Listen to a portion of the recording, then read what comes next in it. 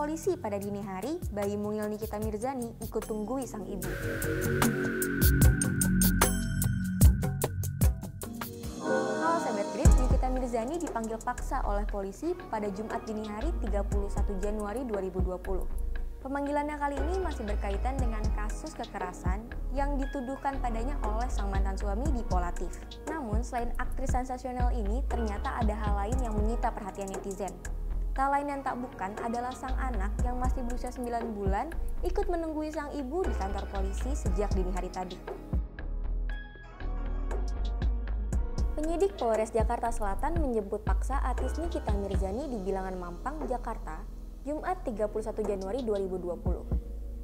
Seperti yang kita ketahui sebelumnya, bahwa akhir 2018 lalu, Dipolatif melaporkan sang mantan istri Nikita Mirzani ke Polres Jakarta Selatan atas dua tuduhan, yakni dugaan penganiayaan dan penggelapan barang.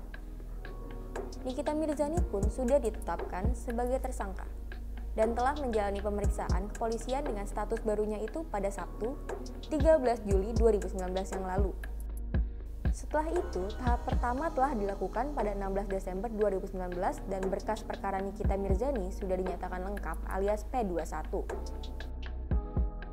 Nikita Mirzani tiba di Mapolres Metro Jakarta Selatan sekitar pukul 00.27 waktu Indonesia Barat.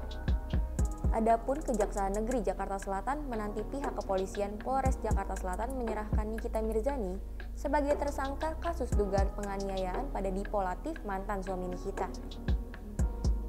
Penyerahan Nikita merupakan tahap kedua di mana pihak kepolisian akan menyerahkan tersangka beserta barang bukti kasus tersebut. Sementara itu, mobil sedan berwarna silver yang ditumpangi Nikita sempat berputar-putar di halaman Mapolres Jakarta Selatan. Ibu dari tiga orang anak itu tak lantas turun dari mobil dan masih berdiskusi dengan pihak kepolisian. Selang 30 menit dari waktu kedatangan, akhirnya Nikita keluar dari mobil dengan didampingi beberapa penyidik menuju gedung Mapolres Jakarta Selatan. Wajahnya terlihat sembab, suaranya pun terdengar serak. Ketika ditanya oleh awak media, apakah Nikita habis menangis, ia menyangkalnya. Namun terlihat dari akun Instagram at Nikita Mirzani Mawardi underscore 17 tak tampak ekspresi sedih atau gundah gulana dari wajah Nikita. Ia justru terlihat kuat dan tetap menebar senyum sumringah.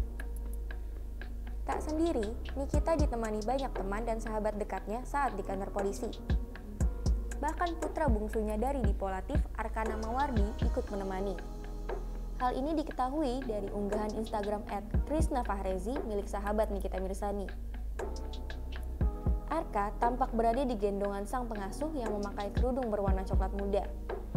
Dalam postingan tersebut, sang pengasuh tampak menimang-nimang bayi berusia 9 bulan itu yang masih terjaga meski jam sudah menunjukkan pukul 3 lewat 4 pagi waktu Indonesia Barat. Tak lama kemudian, putra bungsu Nikita pun sudah terlelap dalam gendongan sang pengasuh. Namun, baru setengah jam tertidur, ia terbangun dari tidurnya.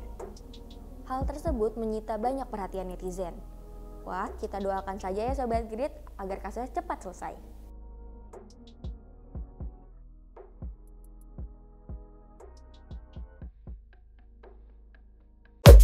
Terima kasih sudah menonton video ini. Jangan lupa subscribe dan aktifkan lonceng notifikasi supaya kamu nggak ketinggalan video terbaru dari Grid.